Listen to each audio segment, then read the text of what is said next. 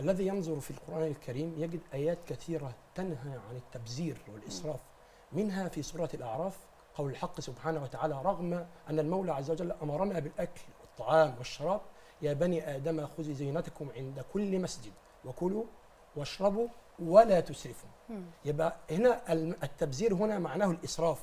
ليس معنى الترشيد هو المنع آه. ولكن معنى الترشيد هو الضبط الضبط الحياة وفق منهج المصطفى صلى الله عليه وسلم. عليه الصلاة والسلام. الآية الثانية كما قلنا ولا تبذر تبذيرا إن المبذرين كانوا إخوان الشياطين.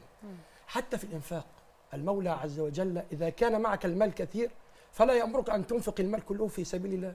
ولكن ربنا يقول والذين إذا أنفقوا لم يسرفوا ولم يقتروا وكان بين ذلك قواما أي في توازن حتى في الإسراف حتى في الطعام والشراب. سيدنا النبي صلى الله عليه وسلم يقول بحسب ابن آدم لقيمات يقمن صلبه فإن كان ولا بد فاعلا فثلث لطعامه وثلث لشرابه وثلث لنفسه.